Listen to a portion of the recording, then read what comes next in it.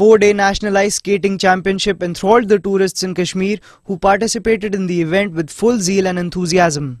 The championship, which was organized by the Ice Skating Association of India, Jammu and Kashmir Ice Skating Association in collaboration with State's Tourism Department, commenced on Sunday and will continue till Wednesday.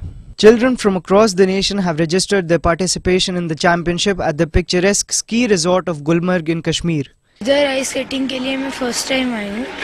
बहुत अच्छा experience रहा। अलग अलग लोगों के साथ competition करने को मिला। और इससे, इधर आइस भी अच्छा है। हमारे महाराष्ट्र में इतना डेवलप नहीं हुआ है आइस के। इधर बहुत अच्छा है।